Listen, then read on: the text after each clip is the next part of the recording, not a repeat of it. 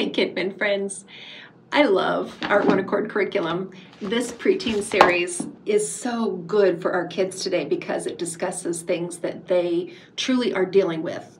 And lesson, what is this? I turned down the page. Lesson nine of the fall series is discussing how we are supposed to be following after Christ and not give in to peer pressure. There's an object lesson in it.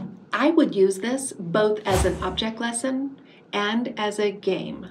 So, what I would do is I would allow my kids to come up and we would um, have different cups up and put the water in them and have them put that rubber band on top of the water. And then we would see, first of all, who got that to happen, and it would happen right away. And then we would find out how many touches it would take for them to touch it before it dropped. Because the touch is their peer pressure that drops it. So that would be a game. And then, of course, the object lesson is when you allow people to pressure you, you give in, right? So if you're looking for a curriculum that works well for both games and object lessons, reach out to me because I can give you a link to the one that works best for you.